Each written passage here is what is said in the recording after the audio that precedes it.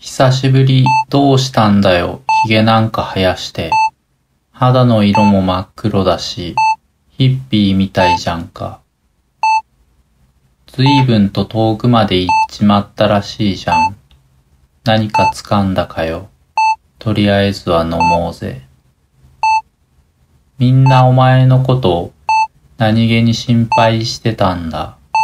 みんなっつうと、そう、いつものメンツのことなんだけど、今日はちょっと忙しくて来れないみたいなんだ。だから、えっと、そうだな。二人だけで話そう。それにしてもみんないつの間にかいなくなるよな。だから別に、それがどうってわけでもないんだけど。最後に挨拶くらいしてほしいっていうか、まあ別にそんなことどうでもいいんだけどさ。そういえば昔さ、いつだったっけ覚えてる？流星群が来るからって、校庭に集まって、寝そべって夜空を眺めてたんだけど、時間だけが流れて、星なんか流れないの。ああ、今俺もしかしてうまいこと言ったかな。寒かったな。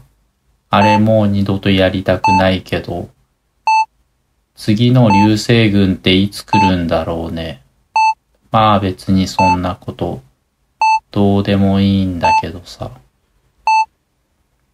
そうやって俺たちはいつまでも待ってた。気はしないと分かってながら、いつまでも待ってた。俺たちの知る限り時間ってやつは、止まったり戻ったりはしない。ただ前に進むだけだ。だから今日は戻らない日々を思い出して笑おう。今日だけ、今日だけは思い出して笑おう。こういうのってあんまり格好良くはないけど、はじめから俺たちは格好良くなんてないしな。冗談はいいとして同窓会どうする？いけないよな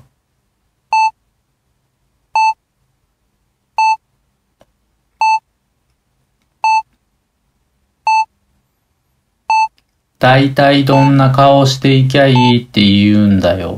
自慢できることなんて一つだってないのに。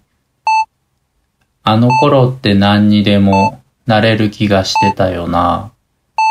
いや実際、生きてれば何にでもなれたか。でもこうやっていろんなことが終わってくんだもんなって。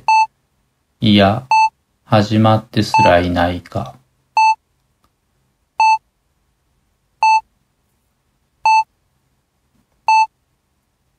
そうやって俺たちはいつまでも待ってた。来たるべき何かが来ると信じ待ってた。グラスの中の氷はとっくに溶けてなくなって、俺たち以外にもう人は誰もいなくなってた。だから今日はありもしない未来について語ろう。今日だけ、今日だけは思い描いて語ろう。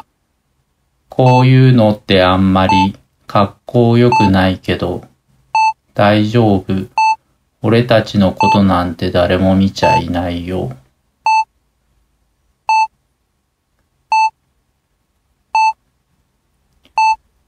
待ってて、俺たちを少しだけ待ってて、必ず行くから少しだけ待ってて。